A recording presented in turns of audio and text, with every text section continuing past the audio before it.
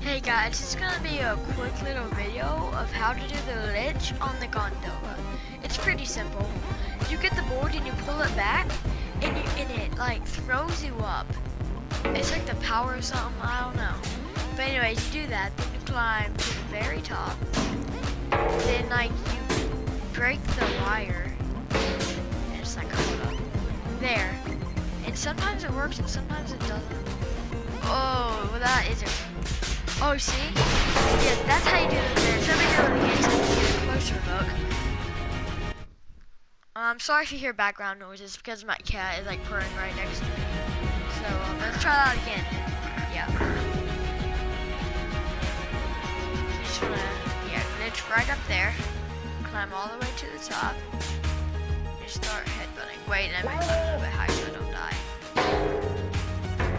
Okay, that would be the. So I'm hitting the wires a little bit. Yeah, start hitting it. There we go. The glitch should happen in a second. Hold up.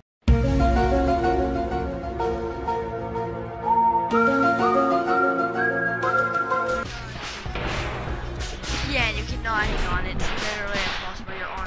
Out. And I'm gonna do it one more time, just like, like step by step. Sorry if I do this like a lot. I'm just gonna do this one last time.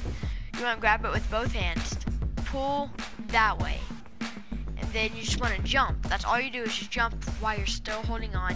Climb all the way to the top. Then just start hitting it. And just so you know, it doesn't always work. Sometimes it doesn't work. That's normal though, but usually it does. So, Bruh. yeah.